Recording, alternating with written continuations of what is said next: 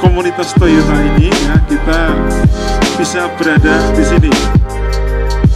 Burit Nasmoko Purwokerto dan juga tadi ada Begita Jil dan juga ada penyerahan ke Panti Asuhan semoga apa yang dilakukan ini kita berkah semua untuk kita semua